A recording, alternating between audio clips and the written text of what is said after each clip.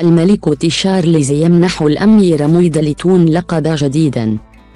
منح الملك تشارلز الثالث أميرة ويلز لقبا جديدا بعد مرور ثلاث أشهر على وفاة الملكة إليزابيث وحصولها على لقب أميرة ويلز وقد عين الملك كيت البالغة من العمر أربعين عاما عقيدا فخريا للحرس الإيرلندي بدلا من زوجها الأمير ويليام الذي حمل اللقب منذ أكثر من عشر أعوام وكان أول عقيد ملكي في الحرس الإيرلندي.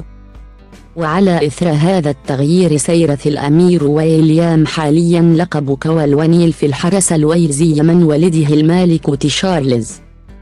العملة النقدية وفي سياق منفصل. أعلن بنك إنجلترا يوم الاثنين الموافق 19 من ديسمبر عن إصدار أول عملات ورقية تحمل صورة الملك تشارلز الثالث الذي اعتلى العرش بعد وفاة والدته الملكة إليزابيث الثانية في 8 من سبتمبر. وأشار البنك إلى أن هذه النقود المصنوعة من البوليمر ستطرح للتداول اعتبارا من منتصف 2024 وبحسب وكالة الأنباء الفرنسية فإن المصرف المركزي البريطاني كان قد أعلن في بيان له أن صورة الملك تظهر على النماذج الحالية للأوراق النقدية من الفئات الأربع وهي 15 وعشرين وخمسين جنيها استرلينيا دون أي تعديل آخر في تصميمها.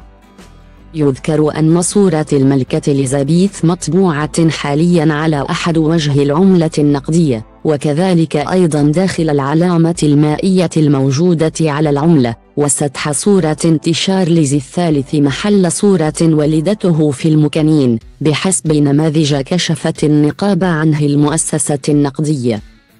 ذكرى ميلاد الملك تشارلز ولد الملك تشارلز في شهر نوفمبر إلا أنه سيتمسك ويحافظ على تقاليد والدته الراحلة الملكة إليزابيث الثانية من حيث الاحتفالات إذ سيقيم الملك الموكب المعروف باسم Trooping the Colour في وسط لندن في يومه المقبل بعد ستة أسابيع فقط من تتويجه في 6 من مايو. وأعلن القصر أن الاحتفال السنوي الذي يشهد مئات الجنود يسيرون في موكب هورس جاردز حارس قوربز يليه ستقام رحلة طيران فوق قصر باكنغهام في 17 من يونيو 2023 كان يوم ميلاد الملكة إليزابيث الفعلي في 21 من إبريل ولكن يتم الاحتفال به في شهر يونيو من كل عام. بسبب الطقس الذي يكون أفضل في هذا الوقت. يوم ميلاد الملك تشارلز في نوفمبر لكن يبدو أنه سيتخذ إجراءات والدته نفسها في الاحتفالات العامة.